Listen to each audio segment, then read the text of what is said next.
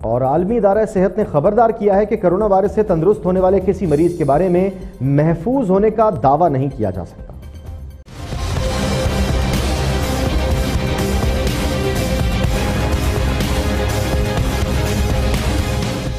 World health organisation ने बाज माहरीन के इस तासुर को रद्द कर दिया है कि कोई भी शख्स अपनी ज़िंदगी में कोरोना से सिर्फ़ एक ही बार मुतासर हो सकता है। डब्ल्यू एच ओ ने अपने एक बयान में कहा है कि एक मरतबा इन्फेक्शन से सेहतयाब होने वाले फर्द के जिसम में इमनियाती तौर पर मर्ज से लड़ने की सलाहियत पैदा होने का दावा गलत है और इस बुनियाद पर उसे इम्यूनियाती पासपोर्ट नहीं दिया जा सकता।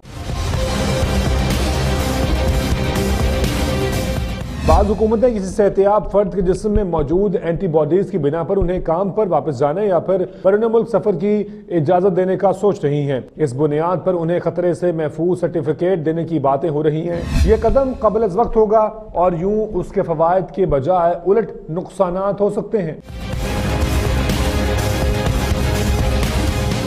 आलमी दर सेहत ने कहा है कि इस बात का अब तक कोई हतमी सबूत नहीं मिल सका है कि कोरोना वायरस से ठीक होने वाले शख्स की एंटीबॉडीज ने उसे दूसरे इन्फेक्शन से बचा लिया हो। ऐसे सेहतयाब अफराद पर भरपूर तहकीक के बाद ही कोई नतीजा अखज किया जा सकता है।